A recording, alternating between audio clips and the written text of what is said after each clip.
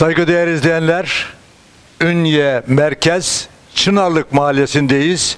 Ünye'nin birçok mahallesinde olduğu gibi bu mahallede de bu mahallede de kaderine terk edilmiş bazı evlerin kapıları açık kalmış ya da bilerek bilmeyerek açık bırakılmış.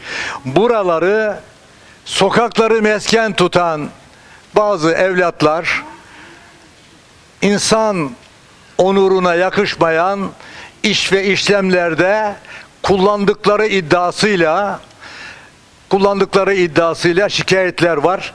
Biz bu Çınarlık Mahallesi Derebaksı sokak üzerindeki eee, yanlış amaçlı insanların insanlara ev sahipliği yapan bu binanın kapatılmasını sahiplerinden istirham ediyoruz.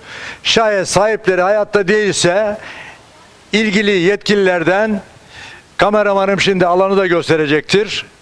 Geri doğru tarayacaktır şimdi onu. Bu alan üzerinde e,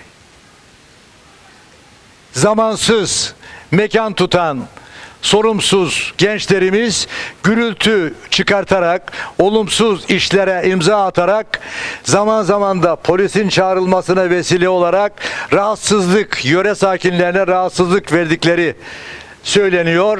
Biz bu konuda yetkililerimizden bu ve benzeri durumlardaki evlerin kapatılmaları konusunda yardım ve destek istiyoruz diyor. Saygılar sunuyoruz.